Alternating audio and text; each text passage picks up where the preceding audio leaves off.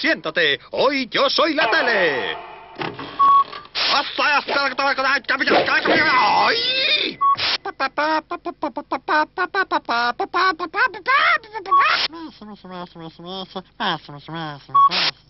Si te pusieras en el lugar de tu televisor, comprenderías lo duro que resulta dar algunos programas.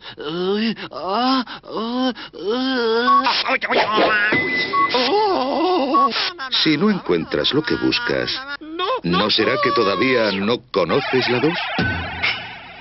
Ya sabes, elegir una programación inteligente es cosa de dos.